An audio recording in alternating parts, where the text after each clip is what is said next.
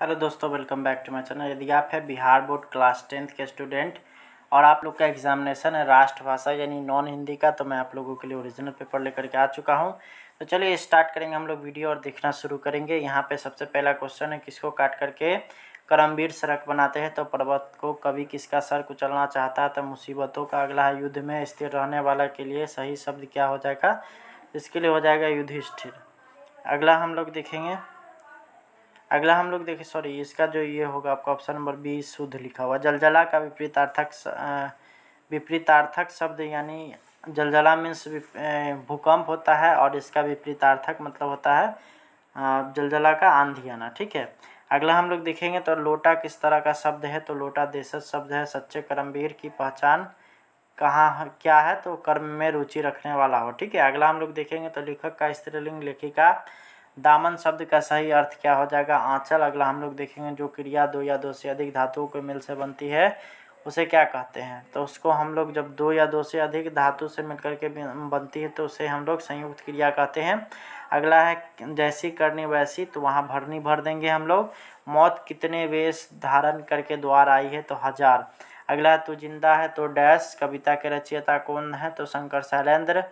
अगला हम लोग देखेंगे तो ईदगाह कहानी का नायक कौन है? तो हामिद, अगला है ईदगाह कहानी के लेखक कौन है? तो प्रेमचंद, अगला धूप को चांदनी कौन बनाता है? करमवीर अगला कठिन काम आने पर करम करमवीर क्या करते हैं? तो उकताते नहीं हैं। अगला है अशोक के किस कहानी का नायक है? तो अशोक का शस्त्र त्याग। अगला है दीनबंधु निराला किस प्रकार की रचना है? तो निबंध है। अगला सवाल हम लोग देखेंगे। बाल मजदूरी की समस्या किस पार्ट में उभरा है? तो खेमा खेमा किस होटल में काम करता था? तो कसारा के। अगला हम लोग देखेंगे अपराजित शब्द का सही अर्थ होता है जिससे हार, जिसने हार न मानी हो। अगला है कवि का स्त्रीलिंग रूप क्या होगा? कवियत्री। अगला है वेद शब्द का विशेषण क्या हो जाएगा? वैदिक। अगला पुरुषवाचक सर्वनाम के कितने प्रकार होते हैं? तो तीन। अगला, जिन शब्दों के खंड किए जाने से कोई अर्थ न निकले, उन्हें क्या कहते हैं? तो रूढ़। अगला, पृथ्वी का पर्यावाची होगा। सभी।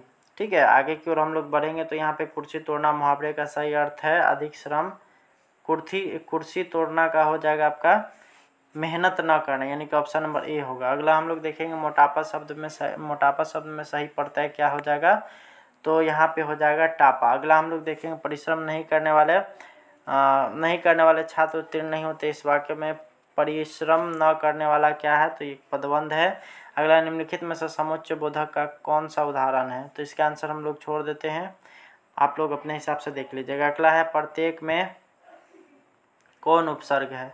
तो इसका हो जाएगा आपका प्रति। ठीक है, अगला हम लोग देखेंगे हृदय का विशेषण, निम्न में से कौन होगा? तो हार्दिक। अगला हम लोग देखेंगे फ का उच्चारण स्थान क्या है? फ फ का हो जाएगा ओष्ठ अगला है विशेषण, कितने तरह के होते हैं? तो चार, अगला है निराला किस काल के? कभी हैं तो आधुनिक काल के।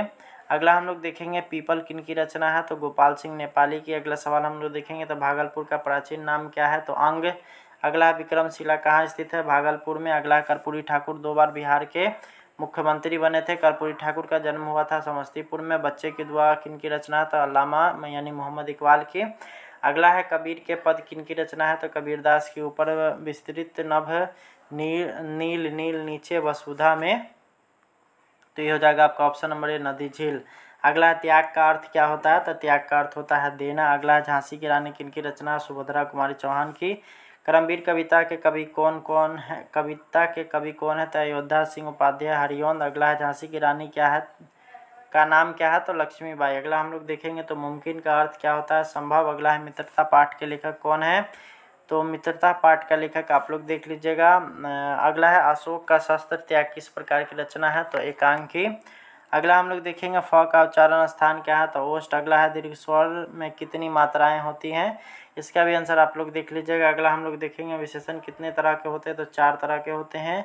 के लिए किस प्रकार किसका विभक्ति है? तो संप्रदान अगला है, जिसे धर्म में विश्वास हो के लिए सही शब्द क्या हो जाएगा? आस्तिक अगला है, गंगा जल किस समास का उदाहरण है?